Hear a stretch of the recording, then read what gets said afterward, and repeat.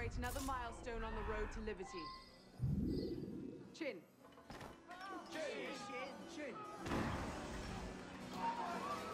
Hidden safes, secret correspondences, royal standards.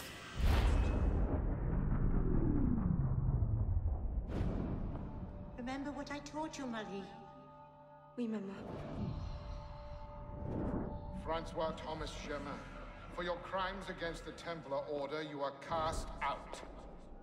Let any man offering succor to the exile share his fate. Fool. Something speaks to me. No, it's mine, de la Serre. De la Serre! Milady, you have a caller.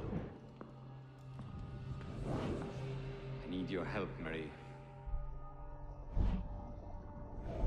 You were right.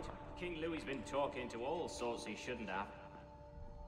Plotting against the revolution out of one side of his mouth, while he promises to support the Constitution out the other. Good.